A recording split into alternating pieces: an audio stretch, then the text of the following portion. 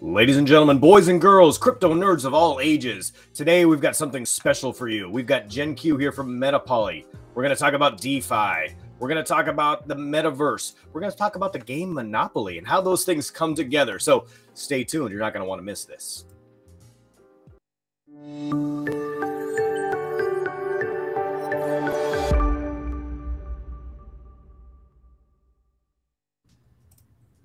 Hey guys, what's up? It's Lauren Wixom here.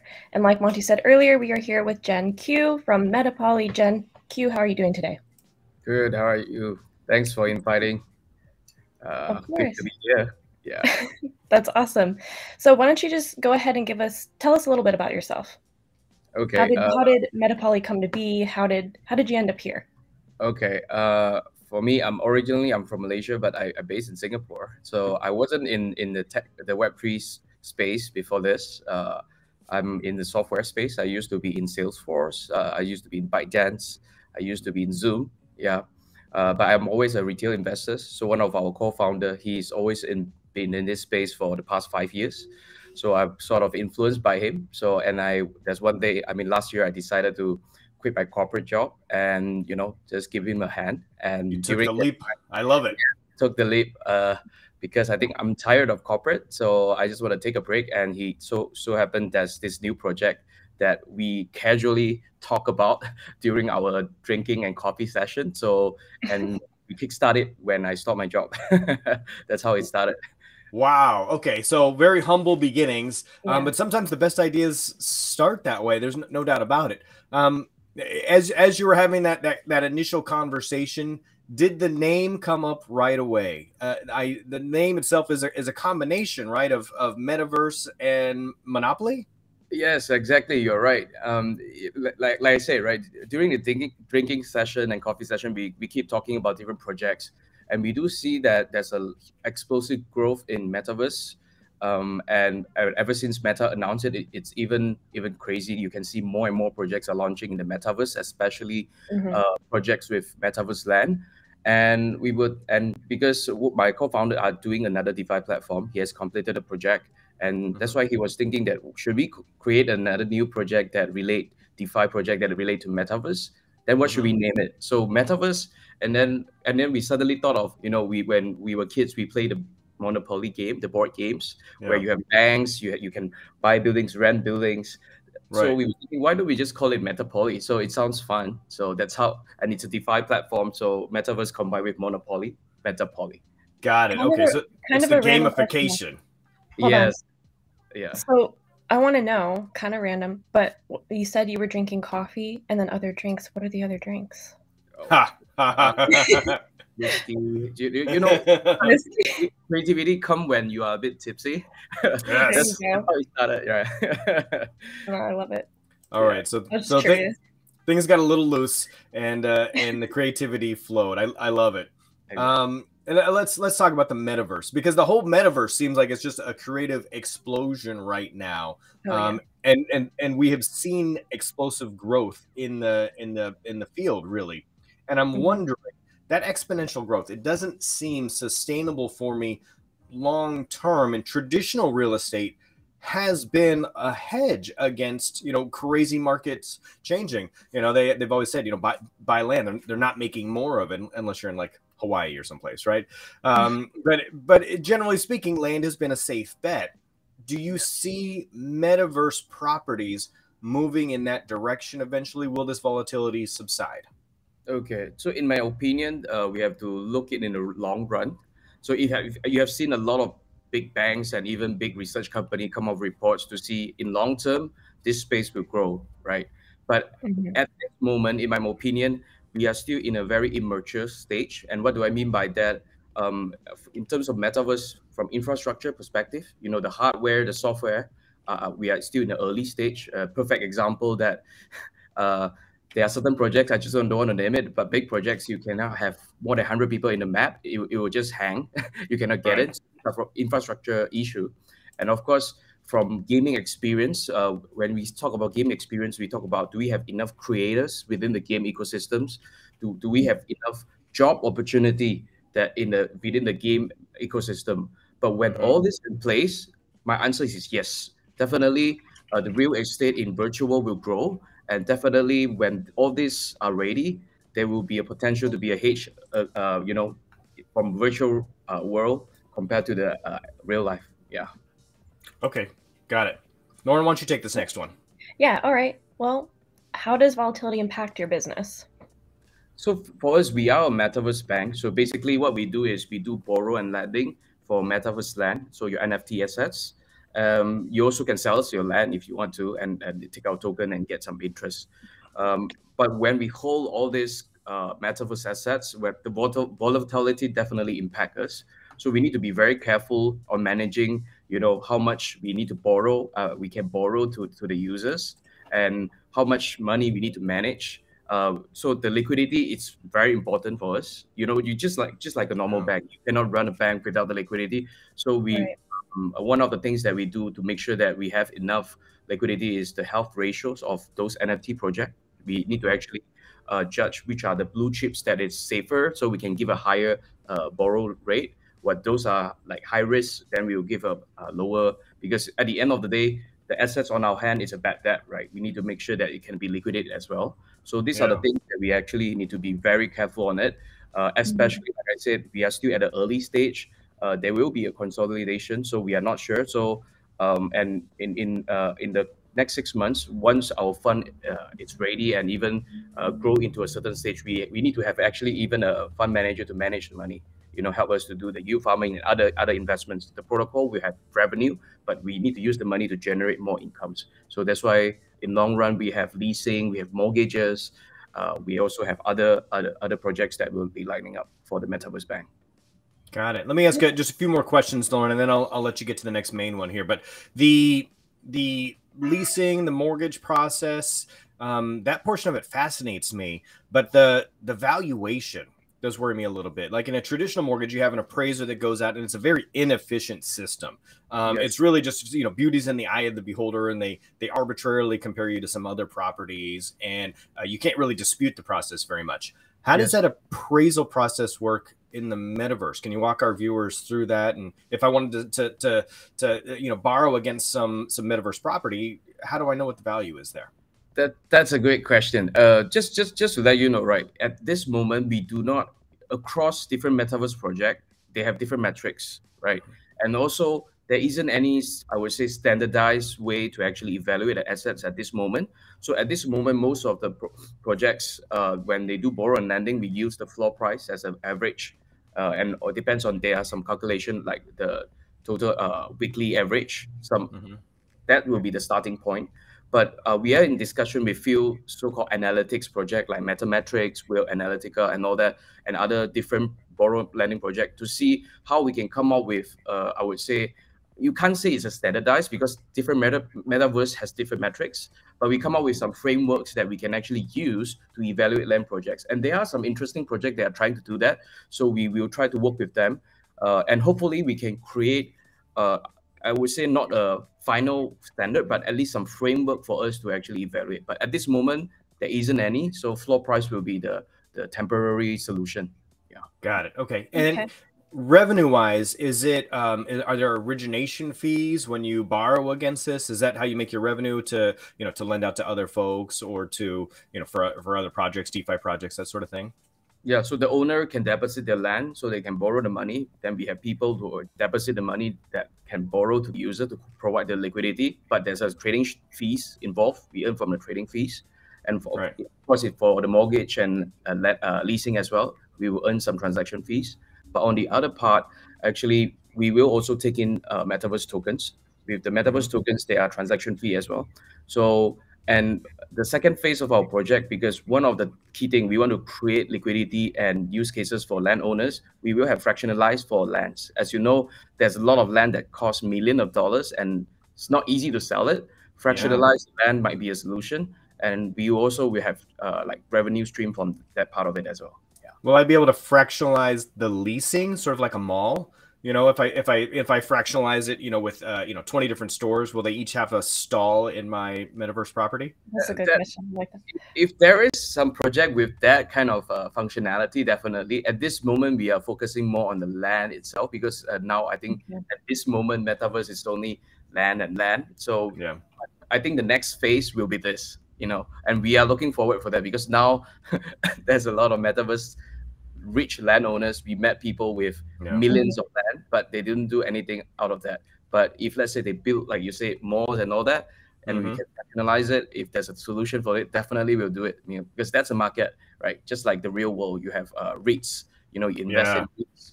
It's it's a similar concept. yeah. It's, it's fascinating how how much the the the transfer is that you know from real world to metaverse.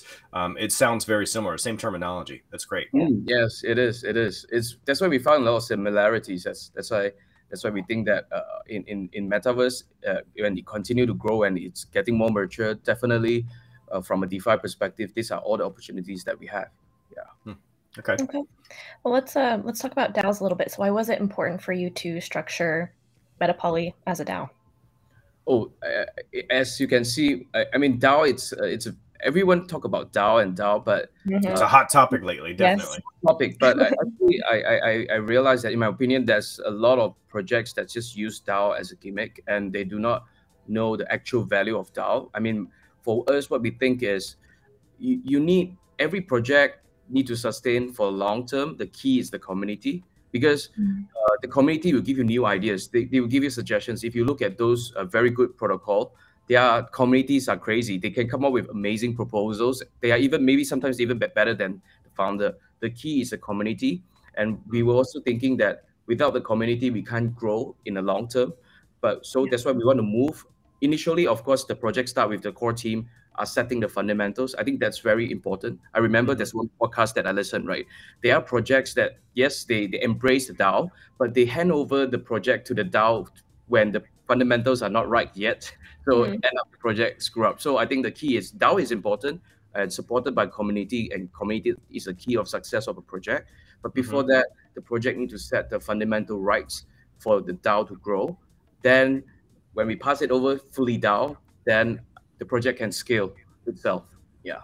So a DAO, in this sense, when um, you're operating, you know, in the DeFi space, is less like a bank and more like in the U.S. what we would call a, a credit union, right? Or maybe like a savings and loan or something like that, where everybody who who saves their money, or in this case, land, they mm. have shares and they have yeah. your um, your token. Do I pronounce the token? Is it a deed token, or do you actually say D three three D? Yeah, it's deed. Actually, you deed. get it okay. right. Yeah, okay. deed. Yes, exactly. And th- so, those are those are your governance tokens, right? Exactly. So that's why they can vote for what are the projects that we take.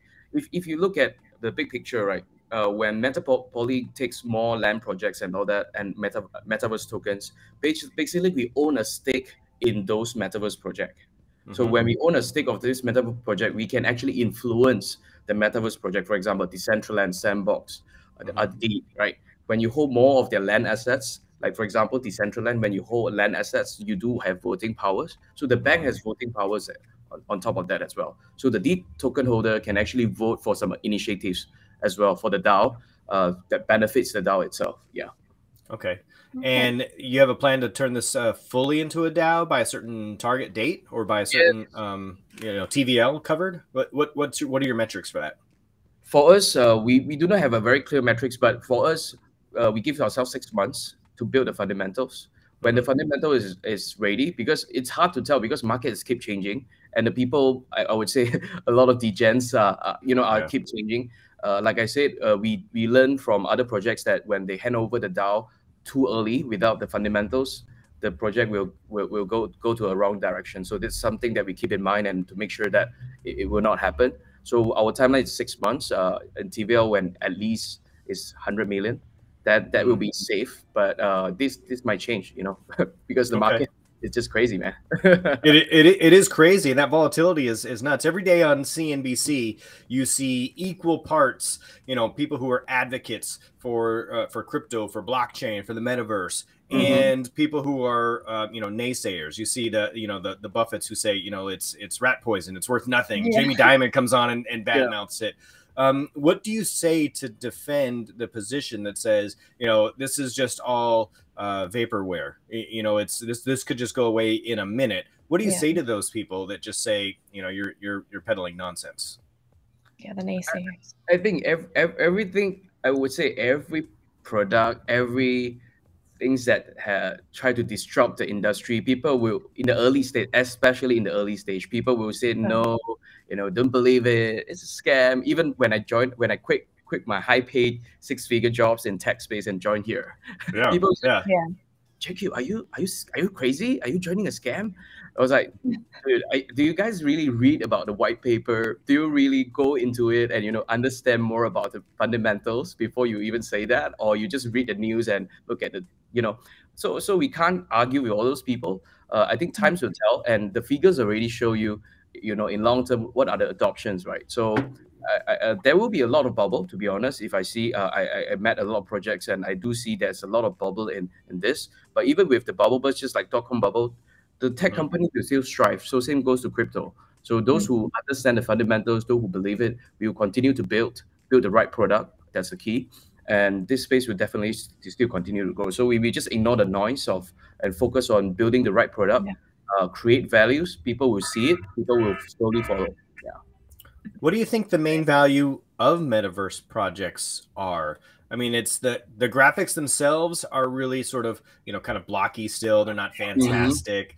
Yeah. Um, you know, it's not even to the quality of like a you know some video game stuff. Um, Yes. you know, it's like a Second Life. What what do you think the metaverse will morph into? Do you think it's really somewhere where we'll put on the VR headsets and we'll go shopping and find services and watch a movie or a concert? Um, and what's the time frame for that kind of stuff? for me, I think in the next five years, if if let's say the fundamentals, for example, like I said, infrastructure and hardware can keep up, Mhm. and the software can keep up, everyone laptops can just go into any games uh, without lagging or even disconnected. yeah. That if let's say that can happen, it will be very fast. You know, um, I give you a perfect example. I, I just met a founder that he has a VR exercise, and people thought that wearing a visa, VR glasses to do exercise is too heavy, doesn't make sense. No, man, I, I wear it on it. I do a five minutes HIIT, and it's the experience is amazing. And I don't even feel that I'm wearing the goggles, to be honest. So Hmm. and and and and people are slowly moving uh, into virtual virtual world.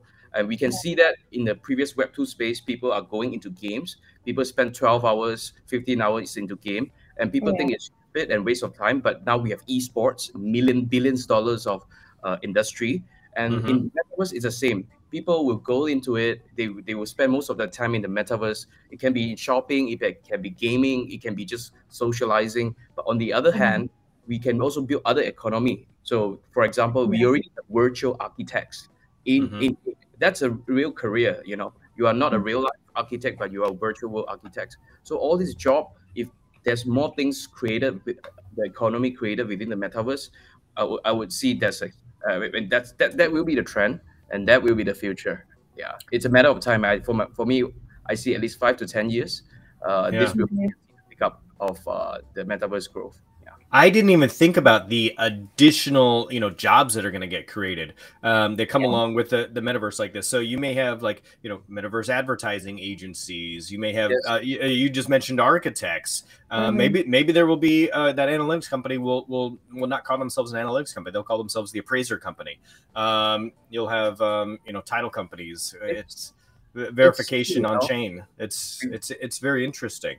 Mhm. Um, okay, so um, recently we've seen some projects come on and you know spike the price of of ETH, um, you know, pretty drastically.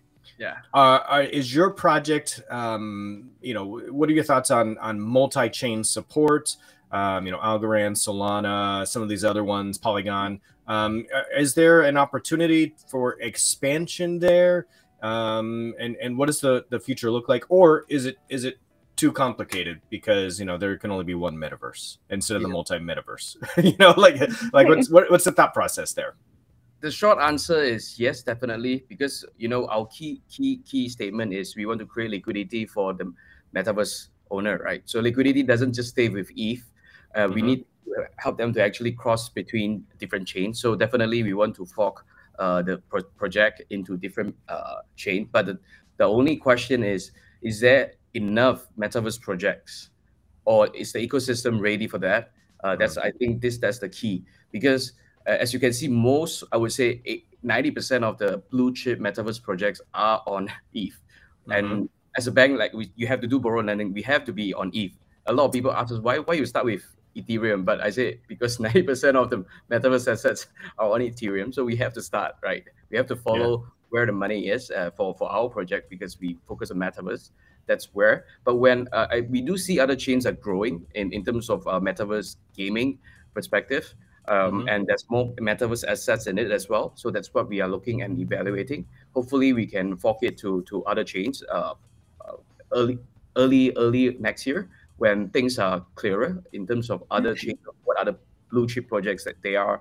Because as it's too volatile, we can't simply just take any project. So we need to make sure make sure that there's enough liquidity, enough uh, I would say blue chip projects. Then we can actually fork it to other chain, yeah, as well. Does the upcoming, you know, long-awaited Ethereum upgrade impact a business like yours? Is that something that you're looking forward to, or the community is looking forward to, or is it just business as usual? Business as usual, and actually, it's benef- actually it's beneficial for us because now uh, people don't want to be on Ethereum and buy and sell all this because of the transaction fees, right? If this upgrade can help to solve that, you know more and more people will actually embrace it and and and it allows some projects to actually even scale because there's a lot of project moving out from ethereum because of that right but mm-hmm. if they they actually can scale uh, without the transaction fee issue maybe maybe maybe maybe maybe actually you'll see exponential growth uh, mm-hmm. in the ETH projects yeah okay um just just a, just a curiosity thing uh, what's the current interest rate on a mortgage against uh, you know a, a, a, metaverse project? How, how are interest rates um, defined in a, in a DeFi era? So for mortgages and the leasing, we are still working out the, the numbers because it's a bit tricky. You know, it's not like the real life that's so easy. But how we mm-hmm. structure it in a smart contract. So we, we do not have the exact number yet. But for the borrow and lending, we are talking about 30 to 50 percent. So it depends on project. Like I, like I say, the health ratio.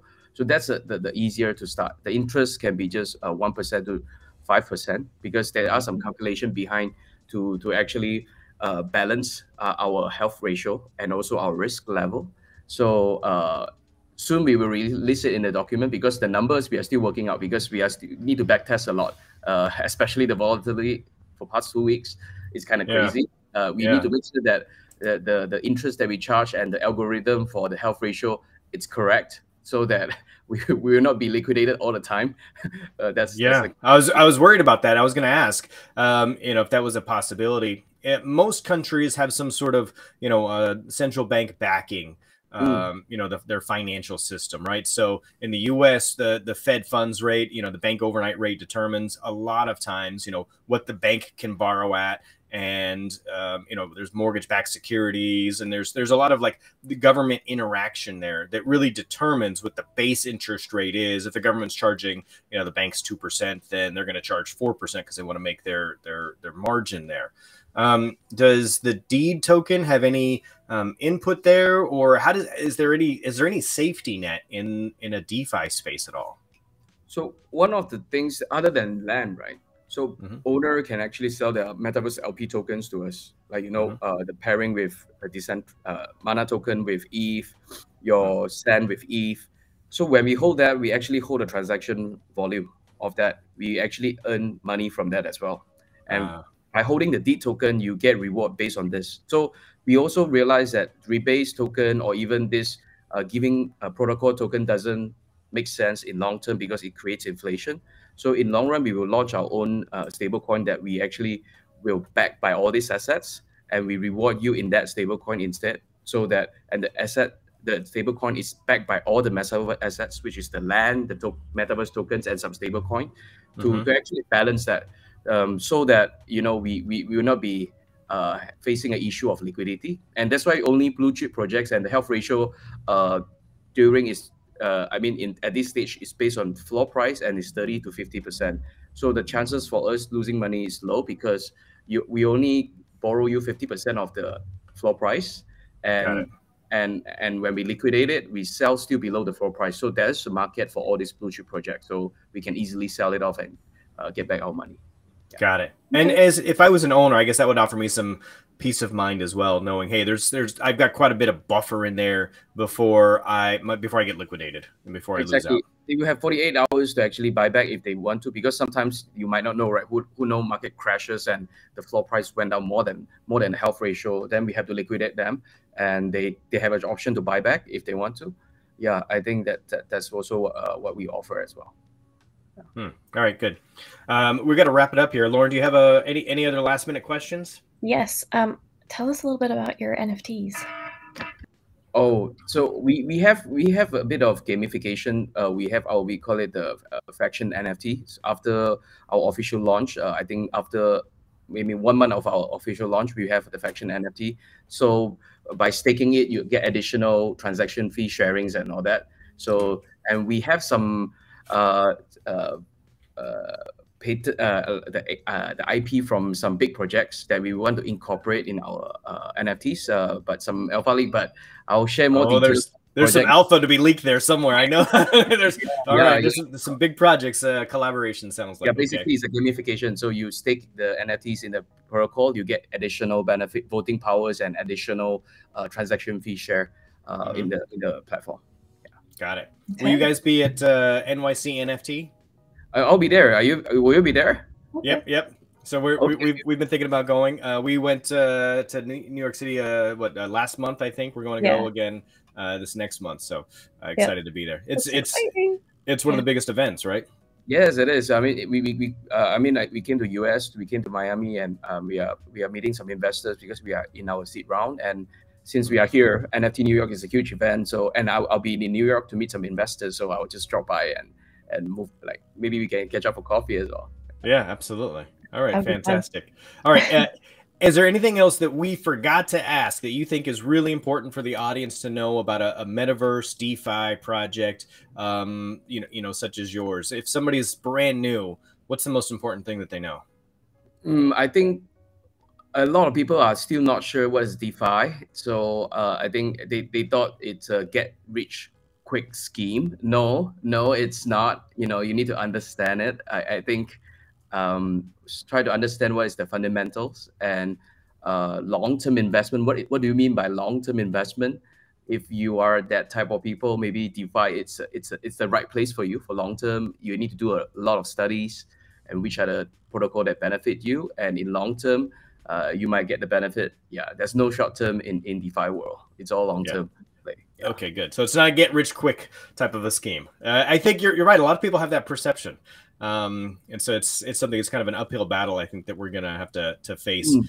and it it probably stems from a few real world cases where there were a couple of people who really did hit you know metaverse yeah. rich, and it, they just need to realize, okay, well, we're not first. You know, let's let's put a, a, strategic investment plan together, and just like any other investment portfolio, do some research, um, you know, make some decisions, and you know, gauge your own risk, and then talk to to you know somebody else in the industry and, and get some advice and learn. Um, I like it. All right, um, GenQ, thank you so much for joining us. Uh, GenQ, everybody from Metapoly.org. Uh, and uh, go check out the website. Go poke around. They got uh, some cool um, graphics up. I think you've got uh, uh some great UI. Some, yeah, it's, a, it's it's very well put together. I can tell that the, there's a lot of thought process gone there. Um, and maybe we'll see you at uh, NYC NFT. All right. Sure. Thank you, KryptoNurd, for inviting. Thank you. All right, everybody. Stay tuned, and uh, we'll see more.